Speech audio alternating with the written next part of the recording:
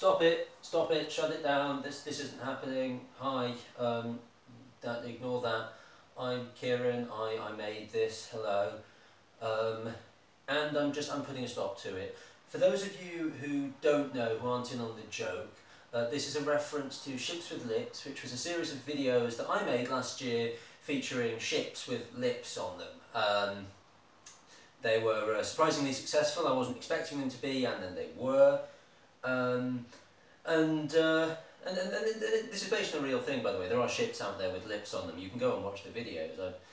Um, but this this is just ridiculous. This is just me trying to emulate my past glories. Uh, I mean, I, I'm standing in. I'm not. I'm not actually in front of a boat with a goat on it. Uh, I'm actually standing in front of a blue screen. Uh, that's why I'm wearing a tiger onesie. It's the only thing I've got that's luminous enough to show up against it.